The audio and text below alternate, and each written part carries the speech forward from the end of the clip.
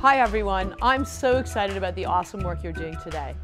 This is the start of a week-long community cleanup across Canada, where Canadians from coast to coast to coast are cleaning plastic pollution from our shorelines, from our parks, and from our neighborhoods. Plastics pollution is a major problem. Every year, more than 8 million tons of plastic pollution flows into our waterways. This is the equivalent of a garbage truck full of plastic pollution every single minute. That's also an enormous waste. We're throwing out $150 billion worth of plastics each year. We need to keep that plastic out of our oceans and in the economy.